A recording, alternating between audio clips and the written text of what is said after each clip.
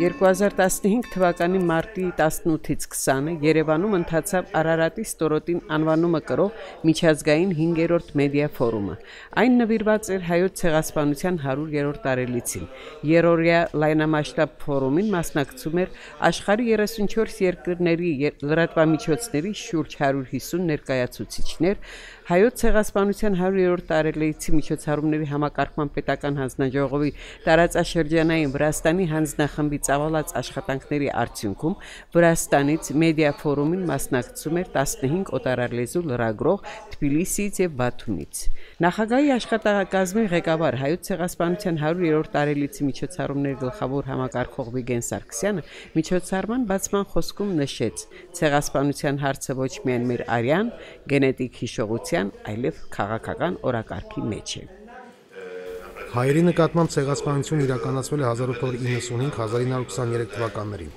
Իսկ 1911 թվականի ապրիլի 24-ին Օսմանյան միապետության մայրաքաղաք Կոստանդնապոլսում ձերբակալվել են հայրավոր հայր մտավորականներ։ Ահա այդ օրն էլ ընդունվեց որպես ցեղասպանության հատակների հիշատակի օր։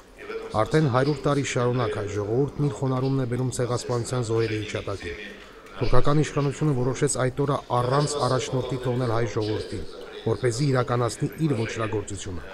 Ինչու ենք մենք այդպիսի կարևորություն տալիս հայոց ցեղասպանության լուսաբանմանը։ Ցեղասպանությունը որպես այդպիսին ընդունված է միջազգային իրավունքի կողմից եւ այն պետք է ճանաչվի ու դատապարտվի այլ ցեղասպանություններ թույլ չտալու համար։ Հիշում եմ եւ պահանջում այս էր Արարատի ստորոտին միջազգային երորիա մեդիա ֆորումի խորագիրը։ Աշխարհի տարբեր ծայրերից Երևան էին ժամանել միջազգային լրատվամիջոցների ներկայացուցիչներ, հասարակական քաղաքական գործիչներ։ Կազմակերպիչները գտնում են, որ մեծ է լրատվամիջոցների դերը ցեղասպանությունների կանխարգելման, խտրականության դեմ պայքարում, իսկ մեդիա ֆորումը լուսաբանող լրագրողների համար ստեղծված են բոլոր անհրաժեշտ պայմանները արդյունավետ աշխատանքի համար։ Ակնկալվում է, որ ֆորումի արդյունքում մասնակից լրատվամիջոցներում կնվազեն հակահայ նյութերը կամ Հայաստանի խնդիրներին վերաբերող նյութերում թույլ տված սխալ տեղեկությունները։ Կարելի ասել, որ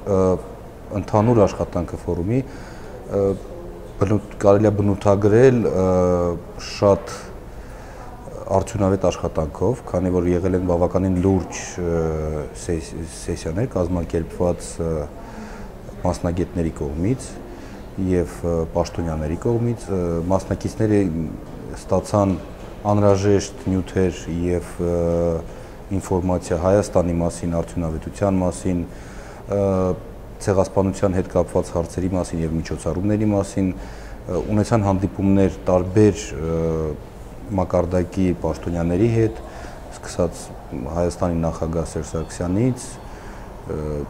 աշխատակազմի ղեկավարից Վիգեն Սարգսյանից եւ եկանք ստեղ Արցախ, հանդիպեցինք պարոն Բակո Սահակյանին եւ պաշտպանության նախարարին եւ արտաքին գործերի նախարարին, այսինքն բացի պաշտոնյաներից մեր մասնակիցները հանդիպեցին նաև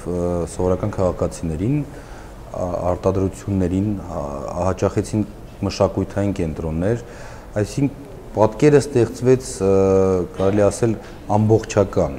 Արարատի ստորոտին 5-րդ մեդիա ֆորումի նպատակն նախապատրաստել ցեղասպանության 100-րդ տարելիցի միջազգային արձագանքը։ Մեդիա ֆորումի մասնակիցներին ուղղված իր ելույթում նախագահ Սերժ Սարգսյանը նշեց, որ թուրքական իշխանություններն իրենց ժխտողական քաղաքականությամբ ոչ միայն արդարացնում են Օսմանյան իշխանությունների հանցագործությունը, հայերի հայրենազրկումը, այլև վտանգավոր նախադեպ ստեղծում նոր ցեղասպանությունների իրագործման համար։ Ինձ համար որպես գիտաշխատողի կարևոր է ճանաչեն այս ցեղասպանությունը որպես ապացուցված պատմական փաստ։ Մենք այսօր բարեբախտաբար կարող ենք ասել, որ հայոց ցեղասպանության հարցը ուսումնասիրել, ճանաչում եւ այդ մասին գրում են աշխարի բազում երկրներ։ Այսօր ցեղասպանությունը չի կարելի հարցականի տակ դնել որպես պատմական փաստ։ Կան հազարավոր նյութեր, հարյուրավոր կոնֆերանսներ են կազմակերպել, դա արդեն ապացուցված իրողություն է։ Թուրքական կողմի բոլոր փորձերը շղթելու տեղի ունեցած ապարդյուն են։ Նրա բոլոր փորձերը հերքելու իրականությունը անպայմանորեն տապալվելու են։ Մեդիա ֆորումի օրերին Վրաստանի պատվիրակության կողմից նկատվում էր աշխուժություն միայն համաժողովը լուսաբանելու տեսակետից, թերևս դա հասկանալի էր, ոչ թե մասնակցել պատմության քննարկմանը, այլ ներկայացնել մոտեցումները։ Արարատի ստորոտին մեդիա ֆորումի մասնակիցները մեկնեցին նաև Արցախ, որտեղ ունեցան բազմաթիվ հետաքրքիր հանդիպումներ։